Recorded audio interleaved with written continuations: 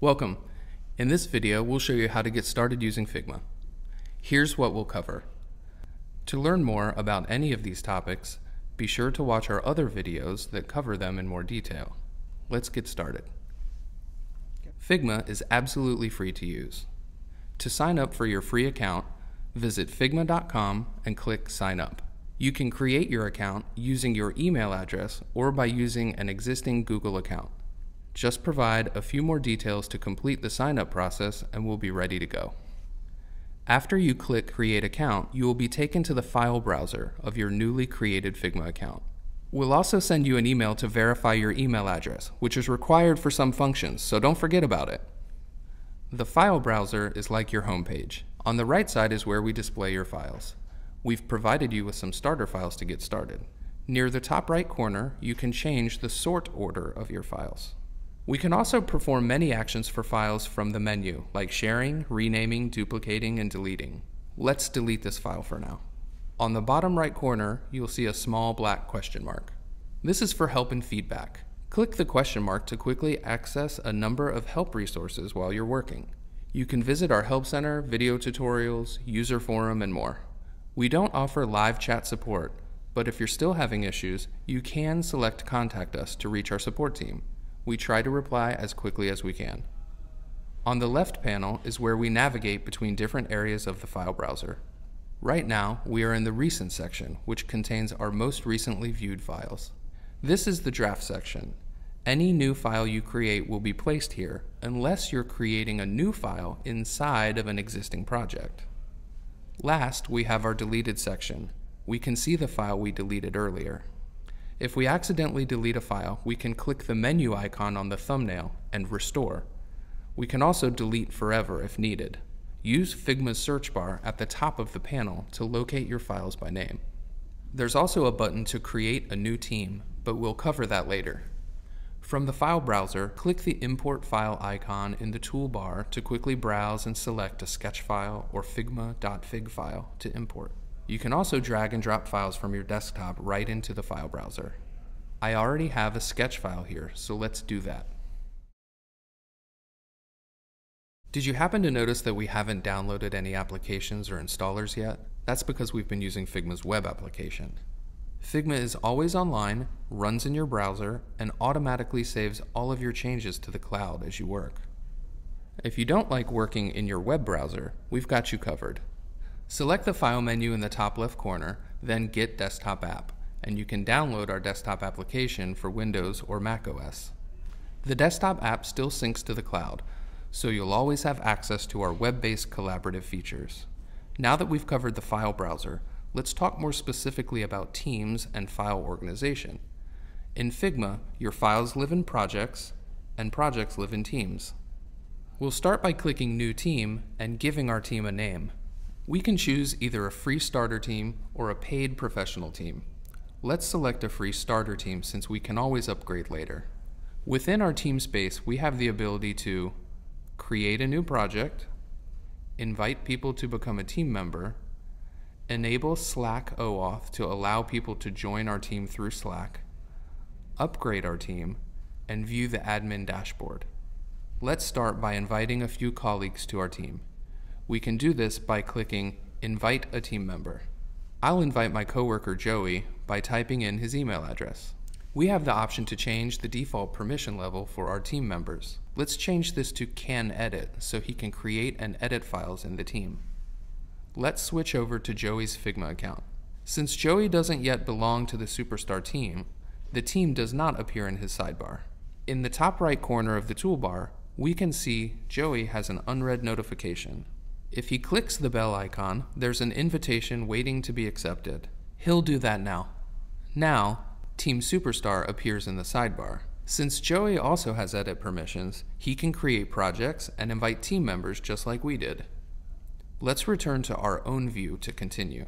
A free starter team allows you to have up to two editors and three projects. When your team grows, you'll want to consider the benefits of a professional team. Let's pretend our company just hired our third designer, Sarah, and we'd like to start collaborating with her on our travel app. We'll click Upgrade Superstar in our team space and upgrade to a professional team. Since we know our team will not grow beyond three editors, we'll choose the annual option to save 20% off the monthly rate. It's important to remember that any additional editors added to the team will be charged at the monthly rate of $15 per month per editor.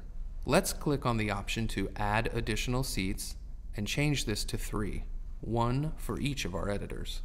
After entering our credit card information, we'll accept the terms and upgrade our team. With our colleagues invited, we'll create a new project for a travel app that our team will be working on.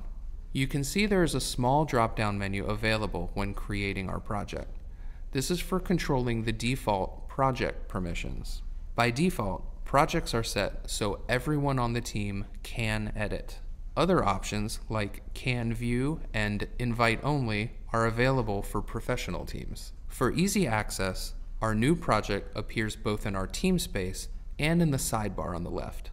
We can remove projects from our sidebar by unstarring them. Let's click into our travel app project by clicking on it in the sidebar. Looking at the center of the toolbar, we can see the folder organization is a project named Travel App, which belongs to our Superstar team. We've created our team, Superstar, and a project, Travel App. Now it's time to create our first file. We can create a new file by clicking the plus icon in the top left corner of the toolbar, or by clicking New File in the file browser. Now we're in the Figma editor, and this is where the real magic happens.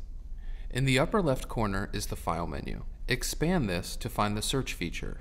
Search is a great way to find all kinds of functions and preferences. You can return to the file browser from this menu as well. To the right of the menu we have the Move tool. Some icons in the toolbar have a small drop-down arrow next to them, indicating other tools within the menu. If we click on the arrow to expand, we see the Scale tool is also available here. Next are the Frame and Slice tools. Generally speaking, frames in Figma are similar to artboards in other programs. Moving to the right, we have all of our vector shape tools to create new vector objects including the rectangle, ellipse, and line tools. Next, we have the pen and pencil tools. After that, the text tool. And finally, the comment tool to leave comments for your teammates. In the center of the toolbar, we have the file name. By default, our file is named Untitled. This file lives in our project, Travel App. While we're here, let's click on the name to rename our file. Next to the file name, there is another drop-down menu with additional actions, such as viewing the version history of the file. Figma automatically saves versions of your files for you, or you can manually save a version whenever you'd like. We can also delete, duplicate, and move our file from this menu. On the right side of our toolbar, we see our avatar. If other team members are working in this file, you will see their avatars as well. Next is the Share button, Clicking this opens a new window where we can see the existing permissions granted to this file.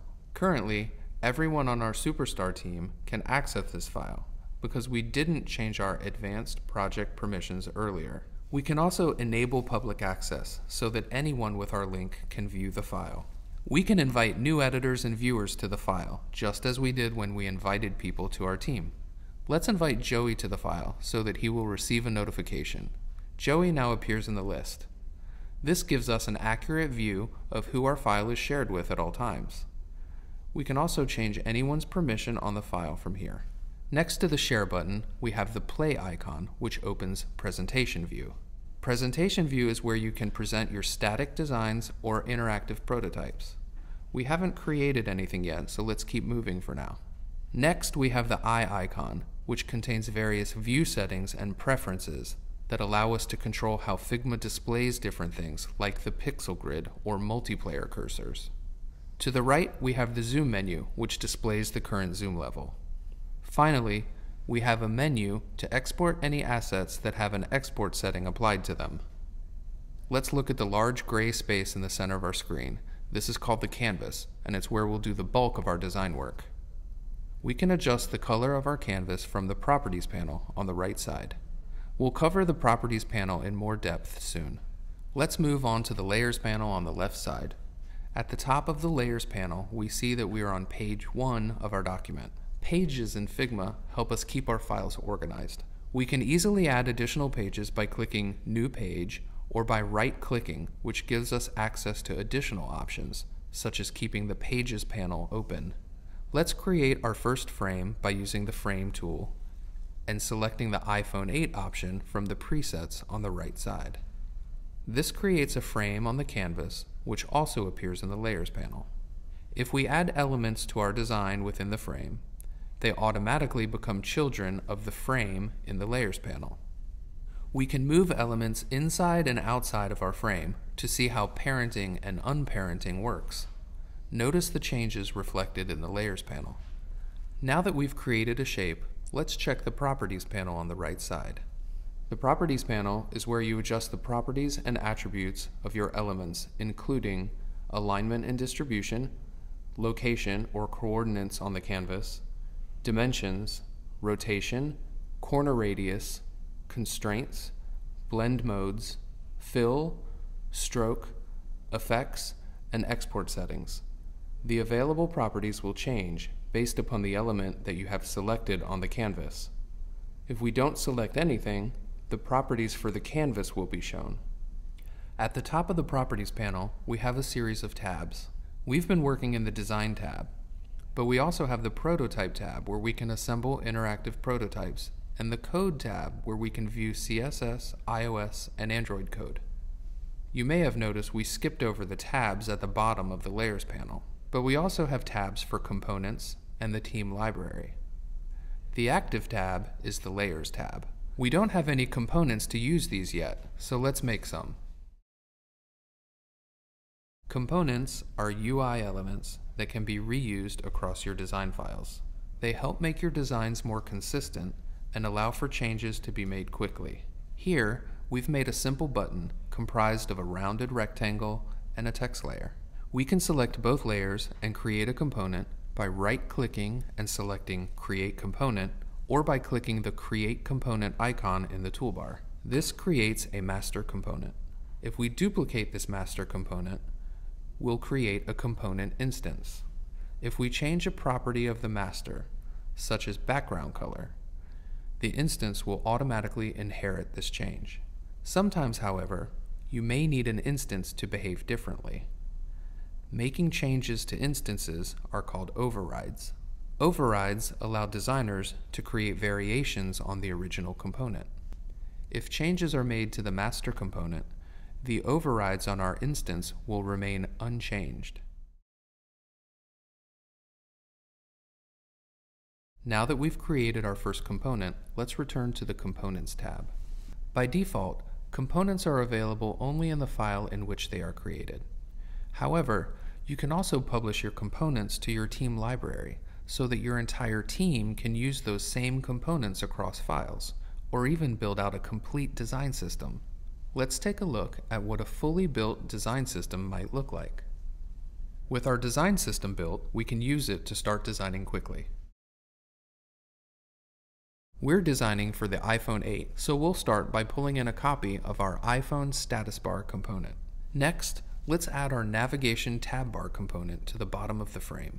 I already know what I want to have on the screen, but Joey has some ideas on the layout, so let's ask him to join us. We know Joey has joined because we see his avatar in the top right corner. By clicking on Joey's avatar, we can enter observation mode and watch him design in real time. Let's watch while Joey finishes building this screen. We can see that he is adding a date, title, and profile component to the page.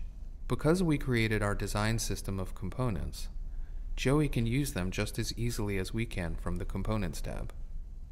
I think I'm starting to get the idea, so let's exit observation mode and start editing the copy while Joey keeps building.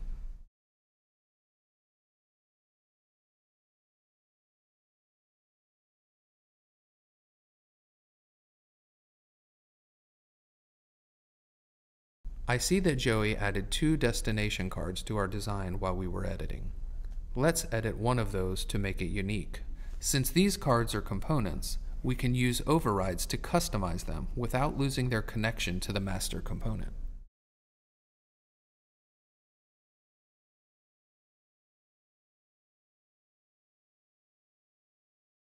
We've now built the first screen of our app. But what if we spent all of this time building our app and decided we wanted to see how it would look on something other than the iPhone 8? That's easy because we've created our components with constraints. Constraints determine how parts of our design behave as the frame is resized.